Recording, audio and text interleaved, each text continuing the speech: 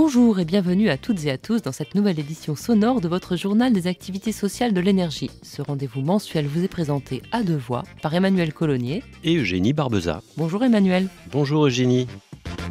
Ravi de vous retrouver Emmanuel, c'est déjà notre quatrième numéro comme le temps passe. Alors en ce mois de mai, j'ai envie de commencer par vous emmener place de la bourse pour vous parler d'une valeur en hausse. Hum, c'est gentil Eugénie, mais vous savez, la finance et les indices boursiers, ce n'est vraiment pas mon truc. Je préfère de loin les valeurs humaines. Mais vous avez bien raison Emmanuel, et d'ailleurs c'est exactement de cela dont nous allons parler, puisque nous consacrons le dossier de ce journal à la gratuité, un concept qui se développe, crise oblige, et qui permet de tisser de nouveaux liens sociaux. Ah bravo, mais pourquoi évoquez-vous la bourse? Ne soyez pas si pressé, c'est une surprise. Vous aurez la réponse dans quelques minutes. D'accord. Tout ce que je peux vous dire pour l'instant, c'est que cette édition sera placée sous le signe de l'enfance et de la nature. Ça vous va? Mais tout à fait, Eugénie. On passe au sommaire? C'est parti. Alors, comme promis, on explorera le concept de gratuité pour constater à travers différentes initiatives que valeur ne rime pas toujours avec argent. Et à propos de valeur, on reviendra sur l'édito de Michael Fieschi qui défend sans faiblir celle des activités sociales. Nous verrons aussi avec le mouvement ATD Carmonde comment il faut lutter contre les idées reçues qui stigmatisent les plus fragiles. On reviendra également sur le Forum social mondial qui s'est tenu, vous le savez, à Tunis en mars dernier. De retour dans l'Hexagone, nous ferons la connaissance de Noël Pauvé, alias Monsieur Environnement d'EDF, dans la vallée du Rhône. Ensuite, on réfléchira à l'idée de nature avec les jeunes pousses des goûters philo. Côté culture, nous reviendrons sur un grand événement, le printemps de Bourges.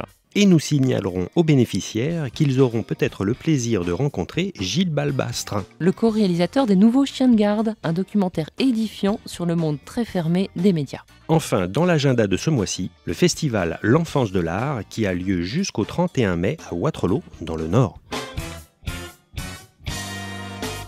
Alors Emmanuel, pour ouvrir ce journal, comme promis, je vous emmène à la Bourse de Paris, ou plutôt devant le fameux Palais Brognard, où le 13 avril dernier se tenait la Gratiféria, un rassemblement un peu atypique organisé par des militants de réelle démocratie maintenant. Écoutez-les. Alors ici c'est un marché gratuit, donc il euh, n'y a pas d'argent, tout est gratuit, donc euh, les gens peuvent déposer ce qu'ils veulent et euh, prendre ce qu'ils veulent, tout simplement. Donc on est profité pour amener des objets qui peuvent plaire à d'autres personnes. Au lieu que, comment dire, on jette le, enfin, les objets à la poubelle. Le principe, c'est l'échange, le partage. C'est encore plus ouvert que ça, c'est-à-dire que c'est euh, la gratuité, c'est même pas l'échange. Effectivement, dit comme cela, cela semble évident. Parfaitement. Et ce genre d'initiative nous prouve que le renoncement au service public et au vivre ensemble n'est pas une fatalité. Transport, eau, restauration scolaire, partout en France, des communes expérimentent avec succès des formes de gratuité partielle ou totale. À Aubagne, des bus gratuits ont été mis en service depuis 2009. Oui, le résultat, c'est que les jeunes n'hésitent plus à se déplacer pour aller rencontrer des amis dans les villes voisines. Il y a eu un renouvellement de la circulation et de la vie dans l'espace public. Et en plus, comme le signale la présidente de la communauté d'agglomération Pays d'Aubagne et de l'Étoile, les dégradations et les incivilités ont diminué. Autre exemple, à Plomelin dans le Finistère, à l'initiative du mouvement citoyen Incroyable Comestible, les enfants sèment les graines d'une société plus solidaire dans des potagers urbains en libre service. Là encore, on a constaté que de nouveaux liens se tissaient entre les générations. Et aussi que les querelles de voisinage avaient tendance à se résoudre plus facilement grâce à cette activité de jardinage. Normal, quand on s'aime, on ne se fait pas la guerre. Bravo Emmanuel, je la note celle-là. Et voici une dernière initiative qui va séduire le grand lecteur que vous êtes. Ça se passe à Montreuil, en région parisienne, où depuis deux ans, l'association Booklive fait circuler les livres dans la ville. Le principe est simple. Il s'agit de déposer des ouvrages chez le coiffeur, chez le boucher, dans un abribus ou encore un lavomatique. Chacun peut s'en emparer librement, les lire, puis les redéposer dans un autre endroit de la ville. C'est une très bonne idée, Eugénie. Mais ces livres, comment est-ce qu'on les reconnaît? C'est très simple, Emmanuel. Ils portent tous une étiquette bleue sur laquelle est inscrit Booklive, le livre que l'on fait circuler. Donc, si j'ai bien suivi, à la ville comme à la campagne, entre livres et potager urbain, des citoyens inventent de nouveaux modes d'échange. Oui, et contrairement à la logique de marché qui prône la concurrence acharnée, la gratuité détend les relations et favorise la coopération. Et ce n'est pas les enfants fantastiques qui vous diront le contraire.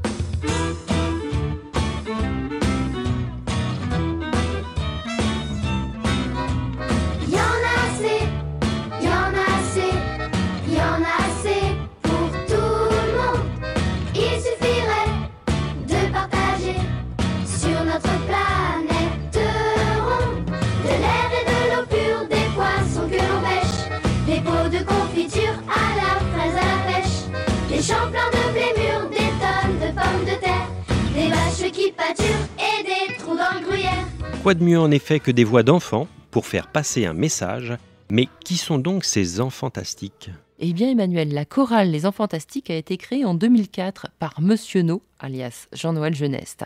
Ensemble, ils interprètent des chansons écrites à l'occasion d'ateliers d'écriture, toujours en lien avec des causes citoyennes. D'ailleurs, l'extrait que l'on vient d'entendre est issu d'un album réalisé en partenariat avec ATD Carmonde. Vous l'avez compris, la chanson Il y en a assez pour tout le monde prône le partage et la solidarité. Oui, et quand on sait qu'en France, plus de 8 millions de personnes vivent en dessous du seuil de pauvreté, on se dit qu'il y a effectivement urgence à partager les richesses. Et surtout à construire les bases d'une société qui n'oublie ni ne rejette personne. À propos de stigmatisation, ATD Carmonde lance une campagne publique pour nous faire changer notre regard sur les plus démunis. En effet, bien trop souvent, surtout en temps de crise, on cherche des boucs émissaires. Et on trouve alors que les plus pauvres coûtent trop cher, que ce sont des assistés, des feignants ou encore des fraudeurs. Or, les chiffres démontrent que ces préjugés sont complètement faux. Par exemple, 50% des personnes éligibles au RSA n'en font même pas la demande. C'est édifiant.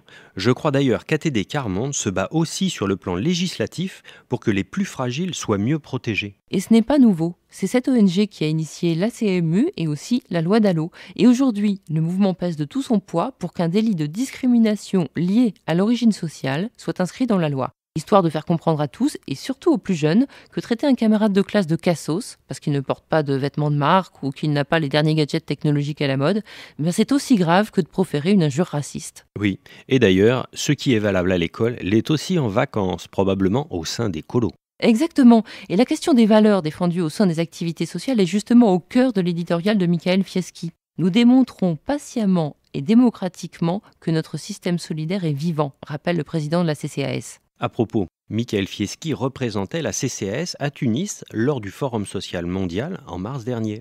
Une présence jugée d'ailleurs très importante par Gus Massia, membre du Conseil international du Forum social mondial. Il nous explique pourquoi au micro de Stéphane Gravier. D'une part, un comité d'entreprise, euh, pour nous, euh, se situe dans les mouvements sociaux et citoyens, notamment en liaison avec euh, le mouvement syndical, mais pas seulement, euh, y compris avec, à travers l'ensemble de ces activités de solidarité, solidarité dans l'entreprise, hors de l'entreprise et internationale, euh, comme c'est le cas pour la CCAS. Et d'autre part, parce qu'un comité d'entreprise fait partie aussi euh, de l'économie sociale et solidaire qui est très présente dans ce forum et qui est un des éléments de l'ensemble des mouvements sociaux qui s'est beaucoup développé à l'intérieur des forums. Concrètement, ce rassemblement a été l'occasion d'élaborer des projets de collaboration et d'échange. Et les bénéficiaires des activités sociales de l'énergie vont pouvoir en profiter dès l'automne prochain avec un séjour découverte du patrimoine naturel, culturel et social de la Tunisie. Ça vous tente Emmanuel? Ah mais absolument Eh bien laissez-moi vous offrir un avant-goût sonore du pays enregistré dans un taxi à Tunis.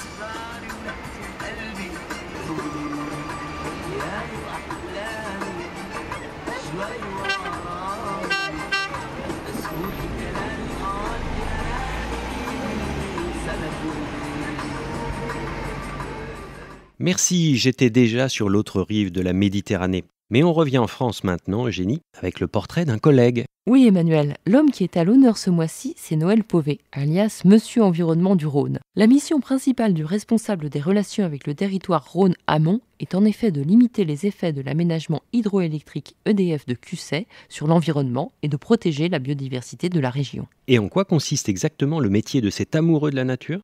Eh bien, il ne s'agit pas de lutter contre la pollution puisque l'énergie hydroélectrique produite au fil de l'eau est propre et renouvelable, mais plutôt de protéger la faune locale en installant des échappatoires à castors et des passes à poissons par exemple. C'est aussi l'occasion d'observer ces animaux.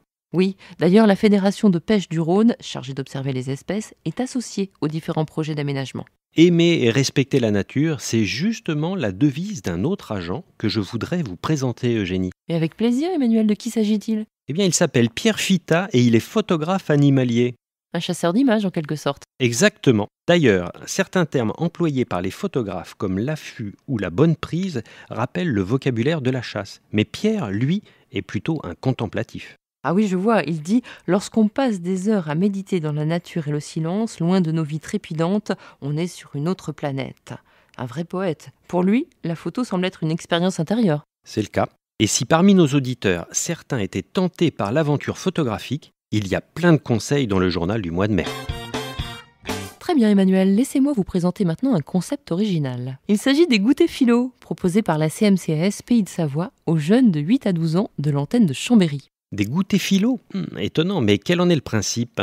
Eh bien, c'est une initiative d'une retraitée des IEG. Un mercredi par mois, une douzaine d'enfants se retrouvent soit à la bibliothèque de l'antenne de Chambéry, soit dans un musée, en compagnie de Laurent Bacheler, professeur de philosophie. Ensemble, ils choisissent le thème du jour. Cela peut être la beauté, l'art, l'injustice, la vie et la mort, ou encore la nature, comme le jour où Frédéric Arbouet est allé les rencontrer. Écoutez plutôt. Alors c'est quoi la nature? Qui peut me donner une définition? Louise, la nature, c'est? Quelque chose qui est non construit par l'homme. L'herbe, elle est, elle est naturelle parce que elle peut pousser, ça te donnera des feuilles. Ensuite, si tu reviens 100 ans après, il y a un buisson. 100 ans après, il y a un arbre. Alors quand je dis qu'il faut protéger la nature, Pour la protéger, on- déjà, on pourrait euh, arroser les, les plantes. Alors, pas lesquelles sous toxique. ouais, Ah, pas, pas les plantes toxique. toxiques. Bah non, parce que. si, parce que le ciel, on besoin d'être protégé. Oui, comme. Ah, tiens, là, là, il y a Vas-y, un ils sont débat. toxiques. Alors, on y va.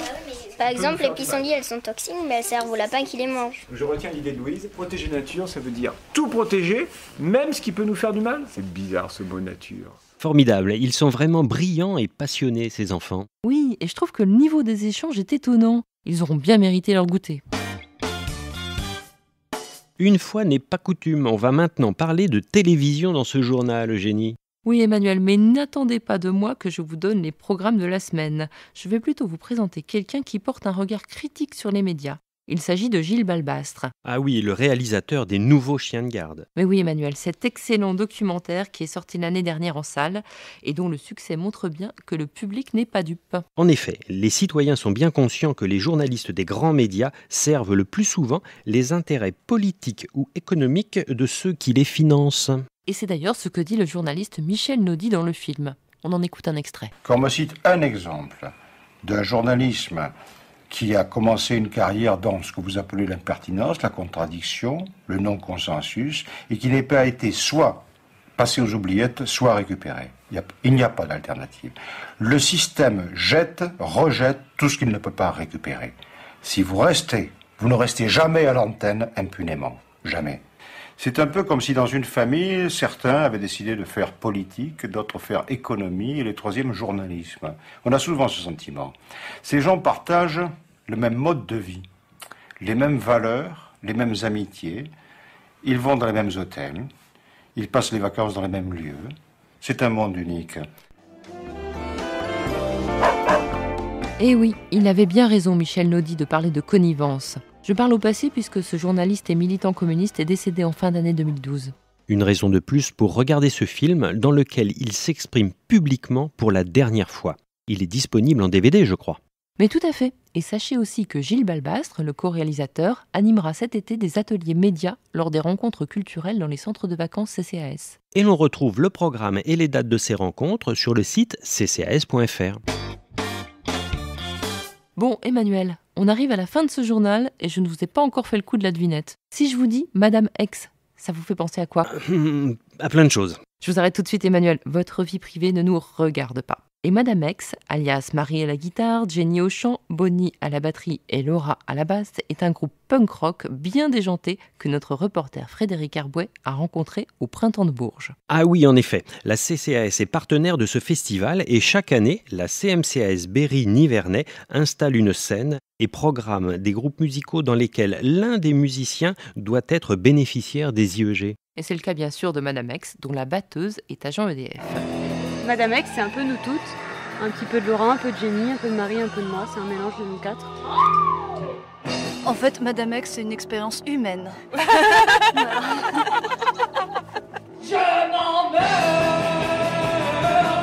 On aime la provocation, mais pas de façon gratuite. Si on, si on provoque, c'est soit pour faire réfléchir, soit pour amuser, soit. Enfin, c'est jamais gratuit dans nos, dans nos paroles en tout cas. Et on aura l'occasion de les voir en concert quelque part? Alors je sais qu'elles étaient en concert il y a quelques jours à Montreuil, et je ne sais pas s'il y a d'autres dates prévues. En attendant, vous pouvez écouter leurs chansons en ligne, sur MySpace par exemple, et je vous recommande tout particulièrement le titre Petite féministe. Et on reste dans la musique, mais pas seulement, avec le festival L'Enfance de l'Art qui a lieu jusqu'à la fin du mois de mai à Waterloo, dans le Nord. C'est la 18e édition de ce festival organisé avec la complicité de la CCAS et de la CMCS Nord-Pas-de-Calais. Le programme est très éclectique car on y trouve de la danse, du théâtre, des spectacles d'humour, de poésie et bien sûr de la chanson. Et à propos de chansons, je suis sûr que vous allez adorer le concert de clôture le 31 mai prochain. Ah bon, pourquoi? C'est qui? Je vous donne un petit indice sonore.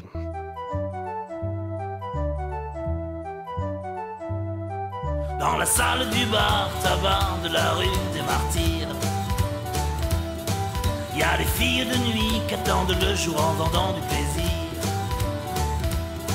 Il y a des ivrognes qui s'épanchent au bar, qui glissent lentement le long du comptoir par terre. Non, c'est pas vrai. Pigalle, c'est un de mes groupes préférés. Effectivement, Eugénie, c'est bien Pigalle et François Hadji Lazzaro qui joueront à 18h30 le 31 mai à Waterloo. Bon, Emmanuel, moi je vous laisse. J'ai une place de concert à aller réserver là. Hop, hop, hop, une minute, Eugénie. Je vous donne le numéro de téléphone pour les renseignements concernant le festival L'Enfance de l'Art. Ah oui, ça je veux bien. Alors vous pouvez contacter l'Office du tourisme de Waterloo au 03 20 75 85 86. Merci Emmanuel. Mais de rien, Eugénie. Vous prenez quand même le temps de dire au revoir à nos auditeurs avec moi? Mais oui, bien sûr.